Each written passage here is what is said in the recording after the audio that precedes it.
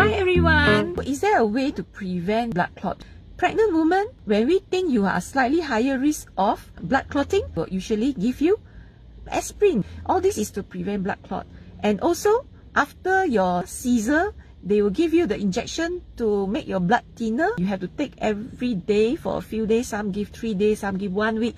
All this is to prevent the blood from clotting. Why Caesar need the jab? Why natural birth no need? Because one of the way to prevent blood clotting is to walk more. Because if you move around more, then you are less likely to clot. The blood can move faster, move better, go back to the heart. People with Caesar, they cannot walk. They are lying down a lot.